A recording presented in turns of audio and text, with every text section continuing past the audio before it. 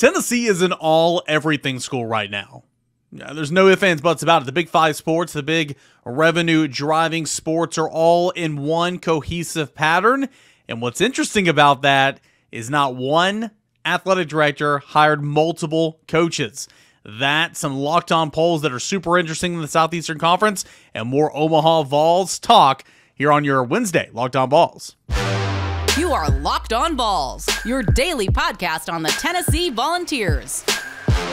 Part of the Locked On Podcast Network, your team every day.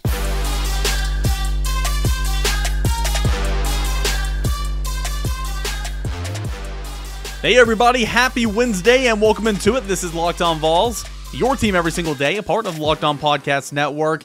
Thanks so much for making us your first listen each and every day and for following and liking us, subscribing to us on Locked On Vols on the YouTube channel, and of course, wherever you get your podcast. I'm Eric Kane. You can always find this show and find me on Twitter at underscore Cainer and at Locked On Vols. And today's episode is brought to you in part by Bird Dogs. Go to birddogs.com slash locked on college. And when you enter the promo code locked on college, it'll throw in a free custom Bird Dogs Yeti style tumbler uh, with every single order. Go ahead and check out Bird Dogs today. We got a fun show coming up today. I- am really excited to uh, kind of get into uh, some of the nitty gritty right now. You know, Tennessee, the, the at Vol underscore sports uh, Twitter account put out. Um, a graphic on Tuesday after Tennessee's berth into the College World Series for baseball. We'll talk about that in a little bit more in in segment three. But um, it's an all everything school. And we say that and we throw that around there a little bit. But really, when you look down into it, it's really interesting how great Tennessee athletics is, um, you know, athletic, athletic department wide. And what's more interesting is. Um, different athletic directors made these hires. So I want to get into that a little bit in segment one. Segment two, locked on um, host from around the SEC voted and compiled some different polls uh, in terms of, you know, for this upcoming season. We're going to go over a couple of those. A couple of those I got a real gripe with in terms of fan bases, top five offenses, all that type of stuff in segment two, and then some more baseball notes. We're going to hear that final call from John Wilkerson in segment three. So um, early on Tuesday morning, and as you can see, I'm back in my home studio. I'm really, really happy to, to be out of Hattiesburg. It is good to be home. It is good to be back in East Tennessee, only if it is for just a few days before I head back out to Omaha. Uh, but it's good to be home, and I was super thrilled. Uh, nearly an all-nighter, you know, covering Tennessee's berth in the College World Series in Hattiesburg, winning that Super Regional. Um, got kicked out of the stadium. Of course, the game didn't start until uh, you know after 10 o'clock Eastern time, and I had to finish up my work and only got you know a little over an hour's worth of sleep, and had to turn around and come back to Jeff City. That's a long drive, or to Knoxville, excuse me. Jeff City's my hometown. Uh, so it's it's been a long day, but um, really really exciting times, and this is why you do it. So I'm really I'm really thrilled. Uh, uh, to be able to do a, a whole lot of this. But uh, when I was riding shotgun on the drive early Tuesday morning, I saw University of uh, Tennessee. They put out this graphic, and it got me thinking a little bit. If you're watching on YouTube, I'm going to flash this graphic up, and you can see it. Uh, but for those of you guys listening right now, it says everything. Period. It's got uh, you know some cutouts of Joe Milton, some Lady Vols basketball players, softball players, Jahmai Mashack of basketball, Christian Moore, of Tennessee baseball. And, and the text says only school since 1998 to win a BCS slash New Year's Six Bowl bowl game, advance to the men's and women's basketball Sweet 16, advance to the men's and women's College World Series, all in the same academic year. And Larry chimed in uh, on the DMs, you know, a couple days ago, and or really, I guess it was after uh, Tennessee punched its stick at Omaha and said, This has got to be one of the best years in Tennessee athletics history, right? And I would agree. I mean, really, you had the turnaround in football. Uh, you had the turnaround in football where you won 11 games, 10 games in the regular season. You took down two of your arch rivals. You beat Alabama, snapped that streak. You went on. You had a Biletnikoff Award winner. You had a guy that should have been a Heisman finalist. You won a prestigious bowl game in Clemson and the Orange Bowl. and so, football, what, you know, turns the lights on for everybody else, right? it's it's it's going back in the right direction. You have men's basketball that was up and down, up and down, up and down, and uh, then you lose your starting point guard, and, and, then you make a run to the Sweet 16. You have women's basketball that dealt with some injuries as well, but made a run to the Sweet 16. You have uh, you know the Lady Vol softball team that advanced all the way to Oklahoma City, uh, won a game, and um, you know we're you know, we're right there and had a chance to win it all. And then, of course, you have Tony Vitello's club in Tennessee baseball that punched its tickets to Omaha for the second time in the past three seasons, sixth time overall. And so those are the big five, if you will, right? Those are the ones that, you know, outside of football and men's basketball, really there's not much revenue that's drawn from some other sports, but these are considered the big five.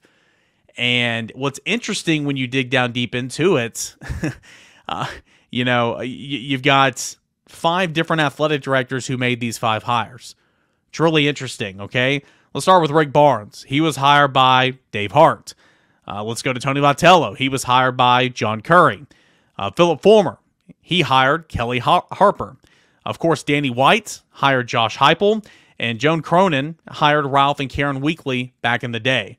So it's really interesting when you look at the five big, you know, sports um, in in terms of the University of Tennessee and really uh, across athletics. You know, you got men's and women's basketball, football, uh, softball, and baseball. They consider the Big Five. All of those head coaches are were hired by five different athletic directors. The cohesiveness, the um, alignment has not always been there. Tennessee's had some tough, tough days in terms of going through athletic departments or athletic directors. The athletic department and the administration not being on the same page. The ads and the chancellor not being on the same page. Lack of support from the university president for athletics. There's been a lot of that over the last couple of, you know, 10, 15, you know, two decades at University of Tennessee. But right now, you are about as aligned as you've ever been. And uh, you know, tip of the cap, and I think it's uh, I think it's a big credit to University President Randy Boyd uh, for believing and for uh, investing and you know having a, a, big hand in what's going on on the athletic fields. Uh, Donde Plowman, who works hand in hand with Randy Boyd and who is the ambassador, if you will, from administrations to the athletic department as, as UT chancellor, and of course Danny White, who is the athletic director who works, you know, with both those with those two uh, aforementioned Randy Boyd and Donde Plowman. The alignment, the vision, the the future, um, what wants what needs to be accomplished here at the University of Tennessee. All three of those individuals are on the same wavelength, and I you can't say that at a lot of places around the SEC. You can't say that a lot of places around the country. And certainly that's not been the case here on Rocky Top, you know, in, in years past. So even though there's been some bad tenures of athletic directors, the way John Currie's tenure here at Tennessee ended was horribly. Uh, you know, Dave Hart, uh, Phillip Fulmer, of course, um, you know, retired uh, during the Jeremy Pruitt uh, situation. Um, you know, there's there's there's been some dark days, if you will, but uh, you know, all five of these head coaches hired by five different athletic directors. I think that's pretty neat. And you know, Tennessee now with with punching a ticket into the College World Series, you've got the athletic department, you know, athletic department wide sitting at number 10 in the Directors Cup standings right now. And that's, you know, essentially to see who's the best athletic department around the country, not just the Southeastern Conference, not just this region, uh, but across the country. And it, it's on a point system. And, you know, because Tennessee just punched its ticket to, to, Omaha in the College World Series, it was awarded 73 more points.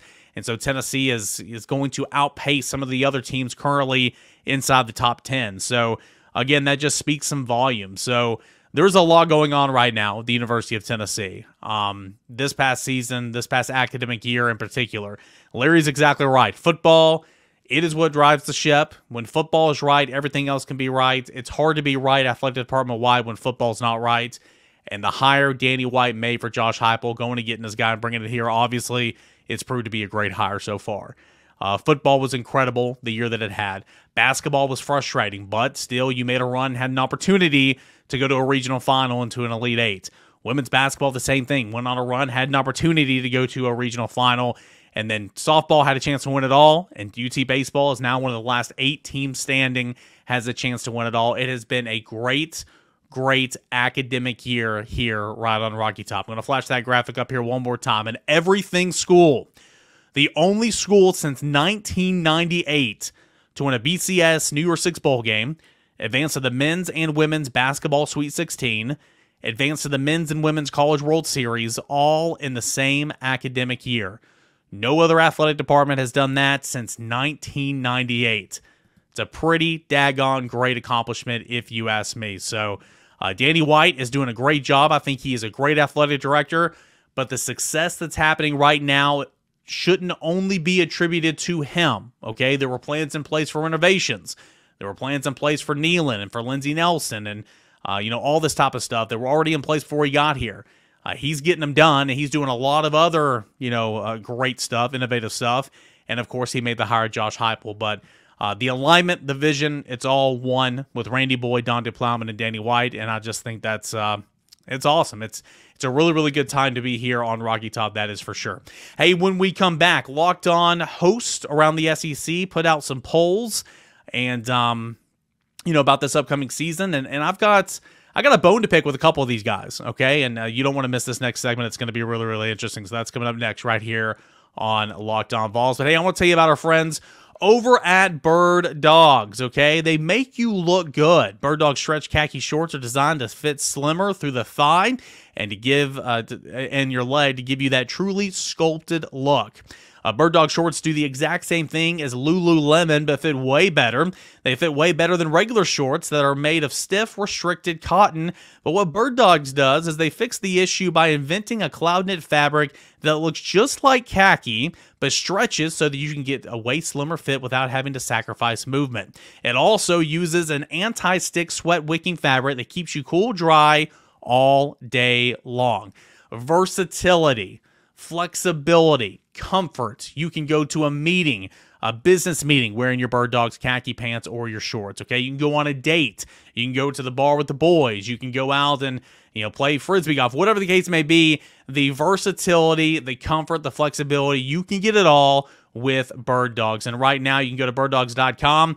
Uh, slash locked on college, then enter the promo code locked on college for a free Yeti style tumbler with your order. That's birddogs.com slash locked on college for a free Yeti style tumbler. You won't want to take your bird dogs off. I promise you that. All right, guys and gals, welcome back into it. Your Wednesday edition of the show will be Omaha bound later this week. I've got a flight out of Knoxville. It's cutting a little close. I'm not too happy about that, but um, when Omaha literally gets in the green off of one week uh, a year and having all these teams and these fan bases and this media contingent uh, going to Omaha, it, it's difficult to find flights. It's difficult to find lodging, and you know, getting all that worked out. Um, it it was it was kind of a hassle on Tuesday morning. But I'm going to be Omaha bound on Saturday, and I'll be in Omaha as long as Tennessee stays and Tennessee is active and playing in the College World Series. So you'll have complete coverage firsthand of the Tennessee Vols in the College World Series right here on Locked On Vols uh, from Omaha. So more on that in segment three. Okay, so uh, I mentioned earlier that uh, we're going to kind of get into some of these polls that a lot of us host on Locked On uh, SEC, if you will, Locked On Network. We all contributed. Okay, so they sent out these polls and they said, hey you know, top five fan bases, top five college football programs, top five offenses, top five coaches, uh, top five head coaches, all this type of stuff. They did a whole lot, you know, for this upcoming football season of 2023.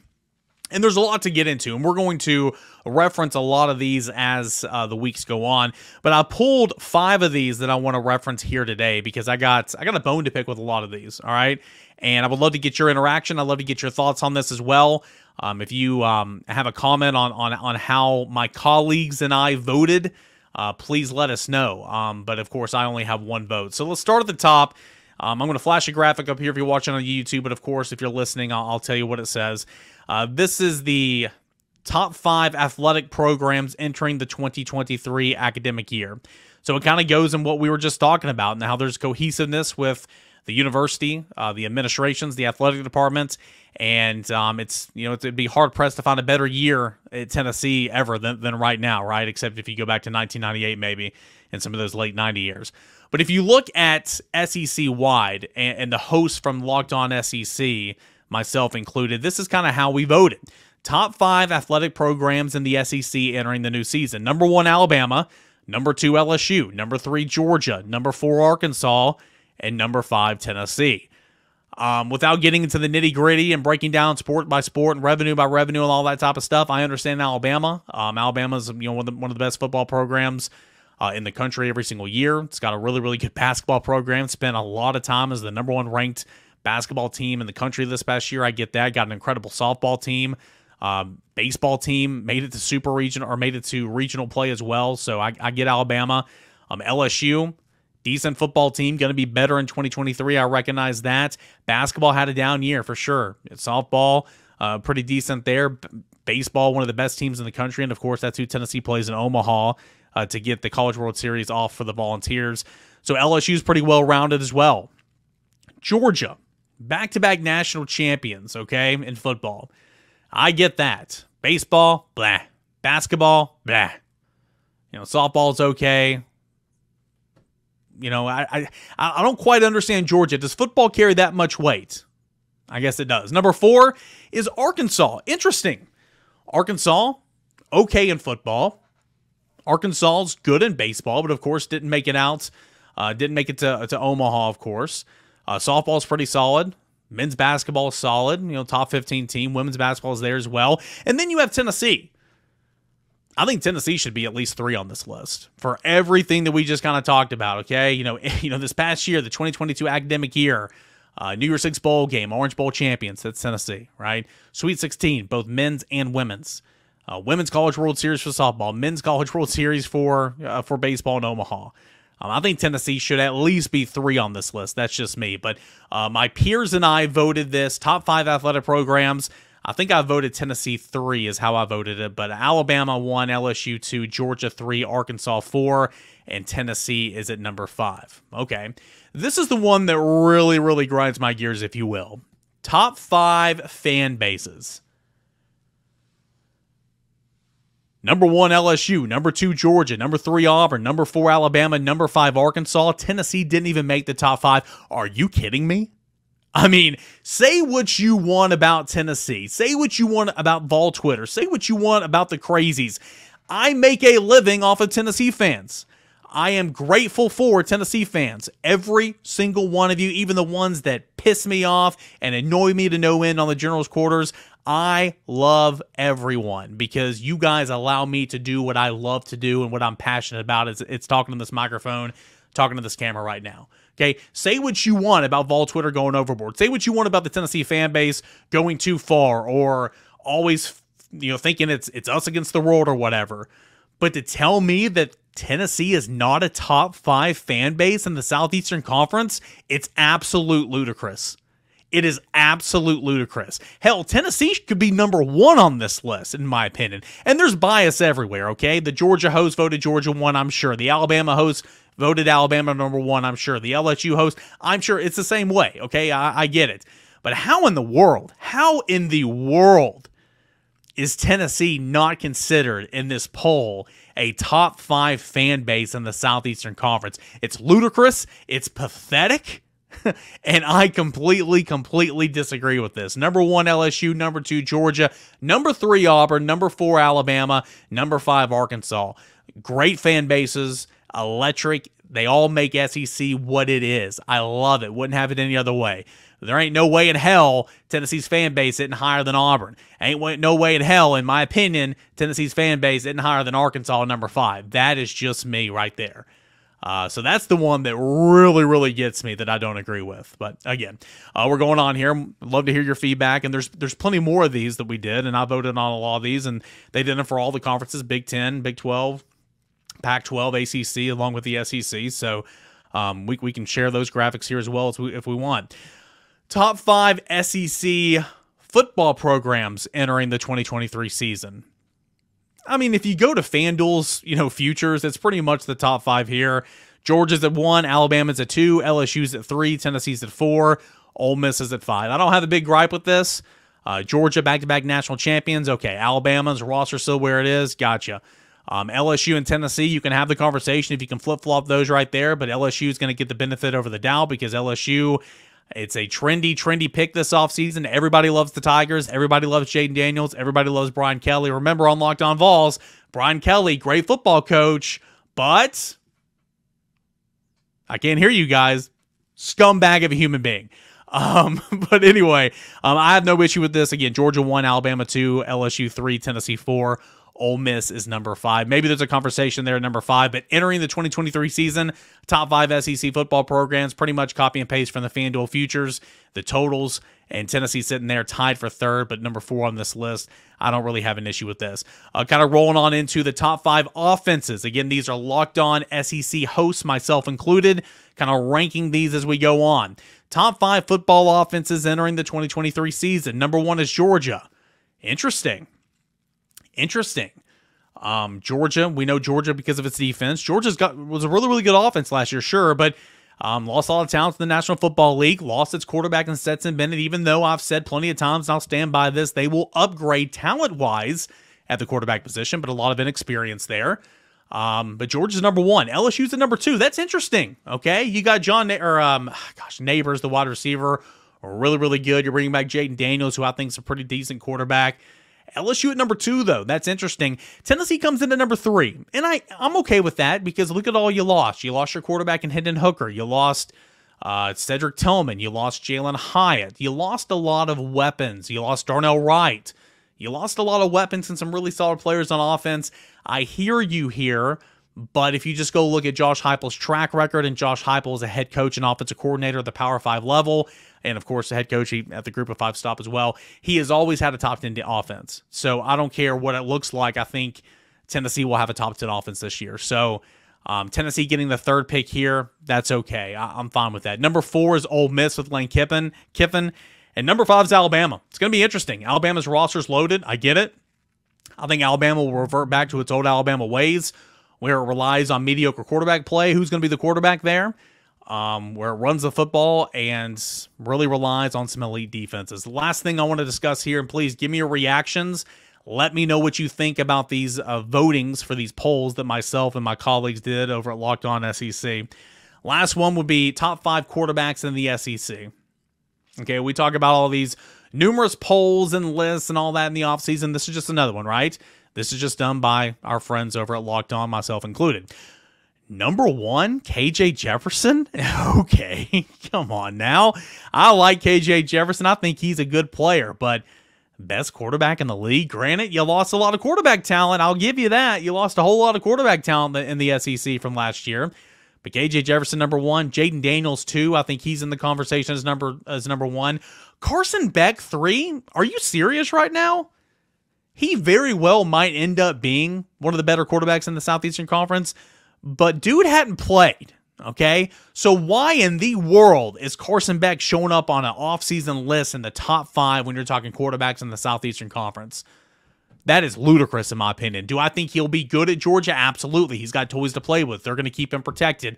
But should he be number three on this list right now? Heck no. One KJ Jefferson, two Jayden Daniels, three Carson Beck, four is Will Rogers. Production, production, production, production. I like Will Rogers. I'll be interested to see, of course, with um, you know the Pirate no longer with us, how that will affect uh, the offense and Will Rogers moving forward at Mississippi State. So I'm, I'm interested to see that. And then number five is Joe Milton. You can go in a number of different, uh, you know, categories here in the top five. Joe Milton's in that conversation with Spencer Rattler, in my opinion, with Devin Leary, in my opinion. Uh, there, there, there's there's some guys that could be in there instead of Carson Beck, or or hear me out, instead of Joe Milton. But the fact that Joe Milton's there at number five, he's been a starter at two Power Five programs, looked really really good in mop up duty and in the starting role in place of Hendon Hooker last year. Joe Milton is a top five quarterback in the Southeastern Conference entering the 2023 season, and the fact that he's number five on this this list, I have no issue with.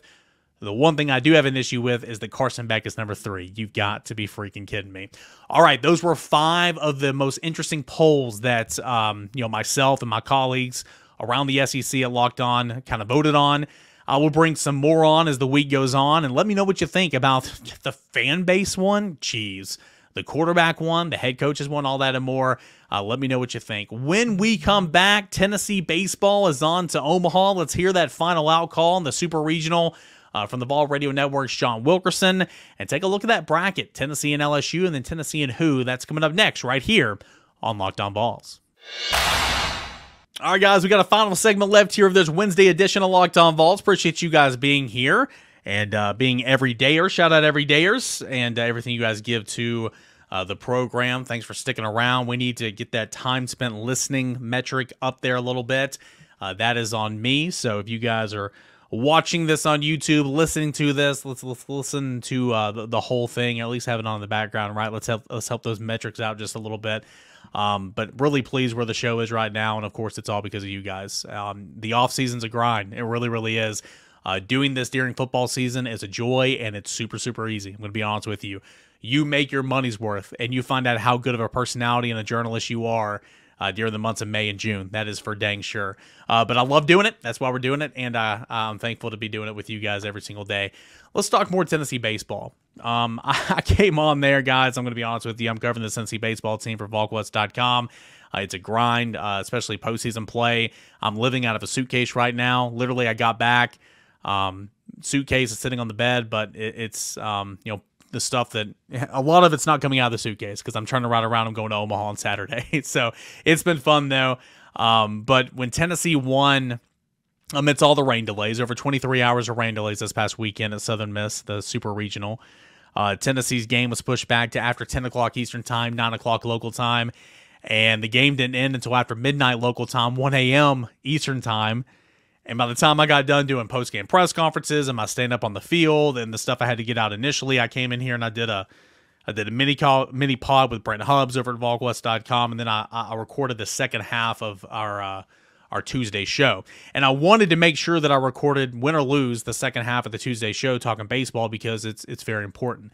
Um, but it was it was about two thirty in the morning, guys, and so um, it was I was delirious a little bit. Um, you know, I'm sure you guys probably knew that, but wanted to go back and revisit some of the highlights of the weekend. And of course, Tennessee punches its ticket to Omaha for the sixth time in program history, the second time in three years, and uh, scored 13 unanswered runs uh, on Southern Miss. After Southern Miss took a 4 0 lead in the third inning of game two, Tennessee went the rest of the way, outscoring the Golden Eagles 13 to nothing, and finally punching its ticket to Omaha. And how did it sound? How did it sound via the airwaves of the Vol Radio Network? My guy, John Wilkerson, had the call, and this is what it sounded like. John Wilkerson on the Vol Radio Network as Tennessee is back in Omaha.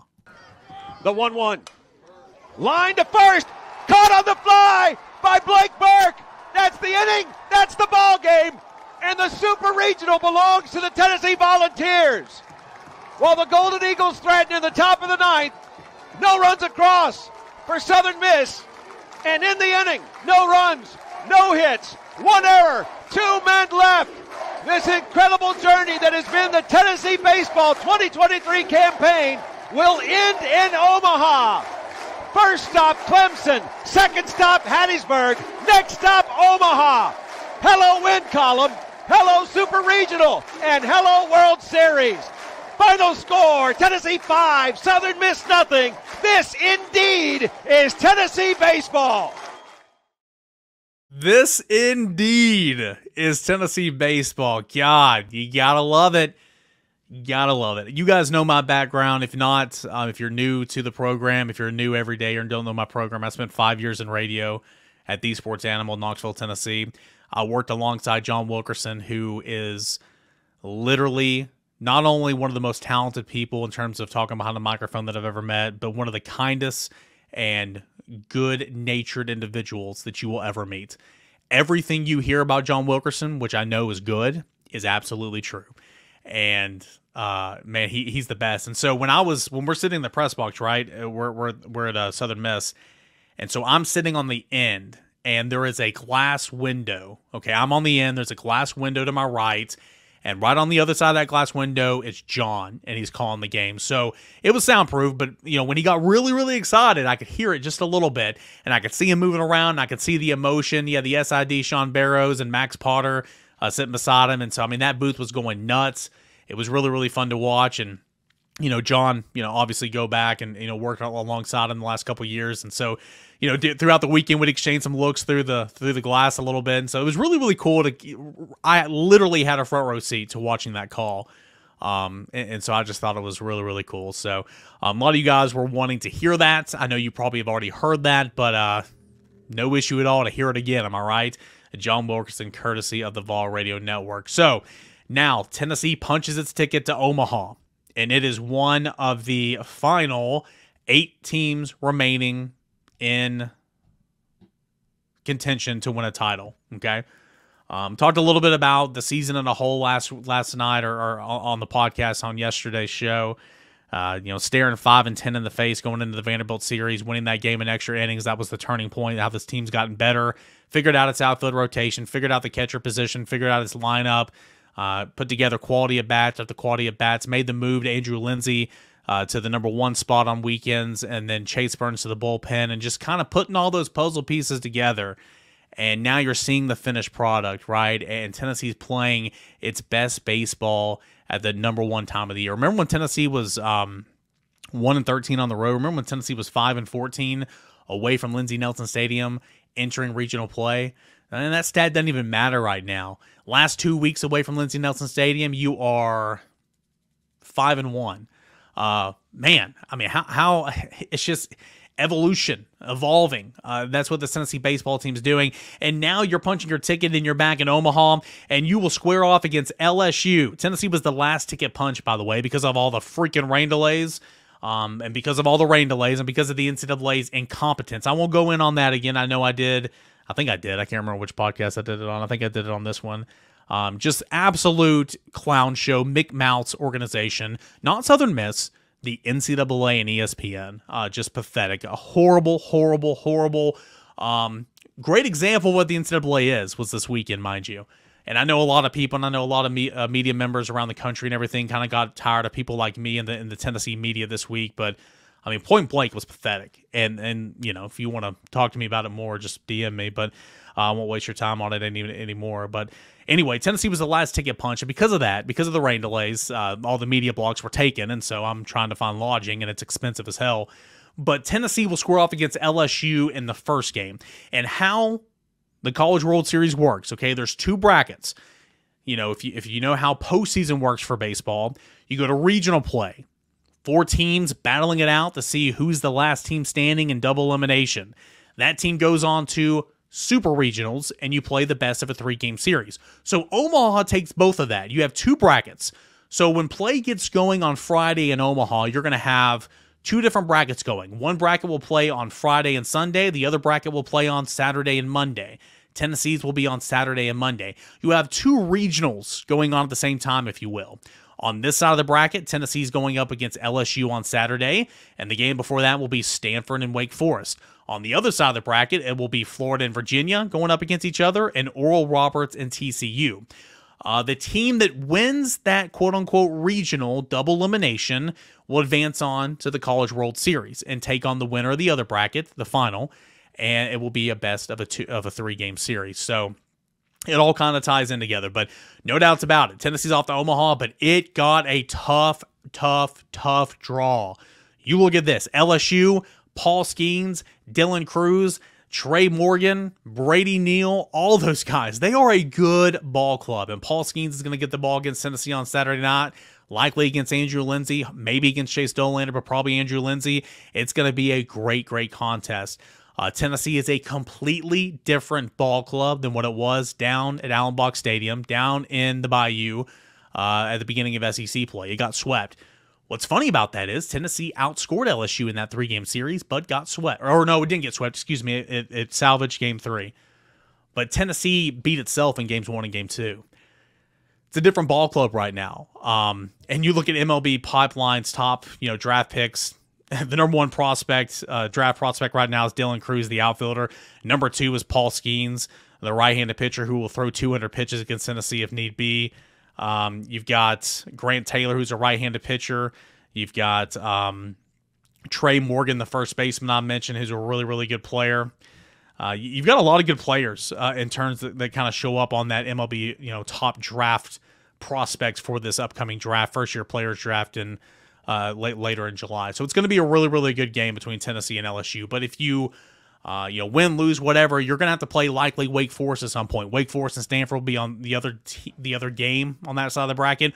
Wake Forest was the number one team for much of the season. LSU, the number one team for the first part of the season. Preseason number one and number two is LSU and Tennessee, and that's going to be again another little storyline. So Tennessee got a tough draw. No ifs, ands, and buts about it. But again, as we'll continue to talk about on tomorrow's show and on Friday's show, Tennessee is built to win at this time of the year because of pitching arms on arms on arms. And if Tennessee is going to lose a game, if Tennessee were to lose a game, say you drop that game against LSU because of the arms, you are you have the potential to climb out of the losers bracket and still win. It'd be tough. It would be really really tough, but Tennessee is positioned to do just that. So, um Tennessee going to Omaha again. You heard the call from John Wilkerson, second time in three seasons, six times over, sixth time overall. 1951, 1995, 2001, uh, 2005 or 2000. Sorry, let me start over. 1951, 1995, 2005, 2001, 2021, and 2023. There we go. And uh, yeah, let's see what happens, man. I'm, I'm excited. I'm really, really excited. Can't wait to see that environment in Omaha, Nebraska for the College World Series. Guys, thank you so much for joining us here on Locked On Vols. Can't thank you enough for being an everydayer, coming back and supporting the show. If you're not an everydayer, come back tomorrow and figure out what it is. Thanks so much for making Locked On Vols your first listen each and every day. If you haven't already, please subscribe wherever you get your podcasts Apple Podcasts, Spotify, Audacy. Subscribe to Locked On Vols on the YouTube channel. Can't thank you guys enough at underscore Cainer and at Locked On Vols.